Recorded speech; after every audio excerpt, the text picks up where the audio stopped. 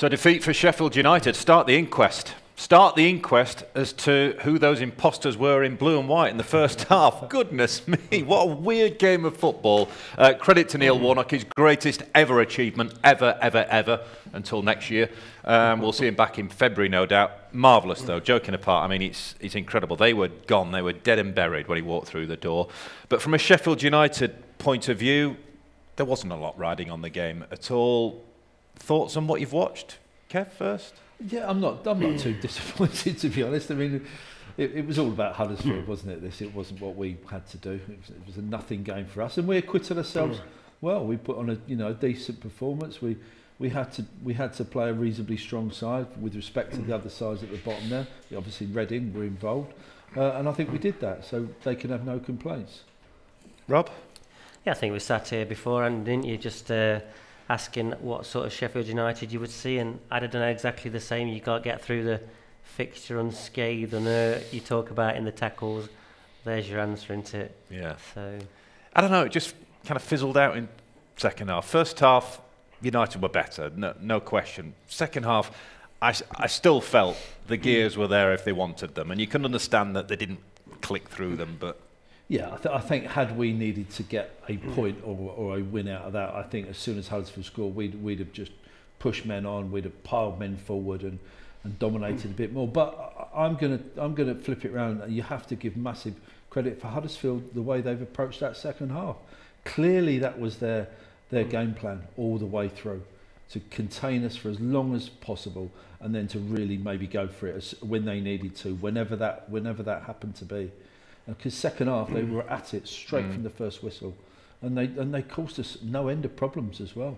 I mean, I, I said in commentary, I don't think they had any any particularly skillful or tricky players to to trouble us, and I was completely wrong because uh, the Kazuma or whatever his name is uh, caused us all sorts of problems in that. And then Danny Ward with that finish, I mean, marvellous. yeah, they call him Lord Ward. This is the goal that won it. If you're going to stay up and you score a goal like this, this is how you do it. Um, it's a fantastic finish, really, isn't it? The way he bends this in.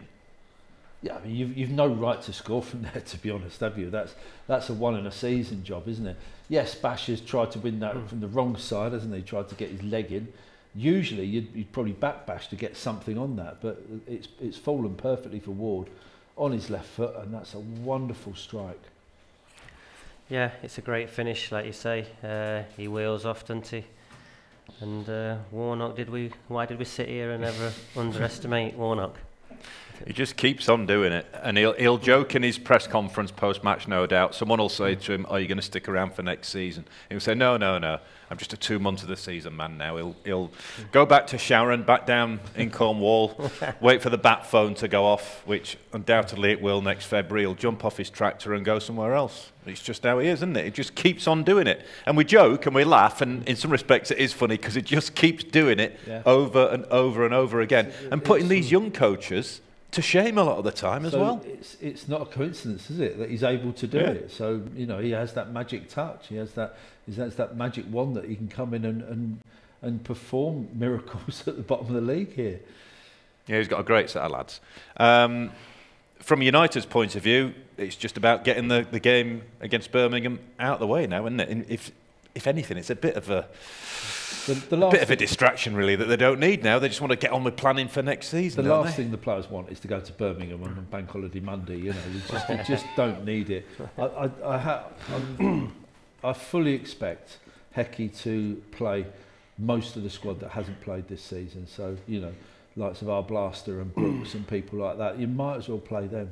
There's nothing on the game whatsoever. And we're not doing a disservice to Birmingham or any other team around us because it generally doesn't matter one jot, does it? No, no, not at all. It's a weird one to get up for, that, isn't it? We talked about motivation for this one tonight, and we thought that, you know, with what was riding on it for Huddersfield, it'd give the game an edge. There's literally nothing on Monday. Yeah, Sheffield United's hard work, and it's come before these games, Yeah. so you've earned the right to do whatever you Absolutely. have in these last fixtures. Who cares what side Hecky puts out, isn't it? It's party time. Well, me and you, maybe. Kev, up for a game? Kick about on Monday?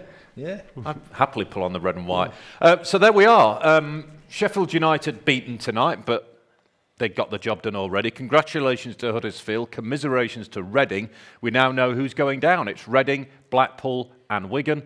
But Neil Warnock has done the magic trick yet again. Sheffield United beaten by a goal to nil at Huddersfield. And now we roll on to Monday, get the game out of the way, and start planning for the Premier League. From all of us here, we'll see you then. Bye bye.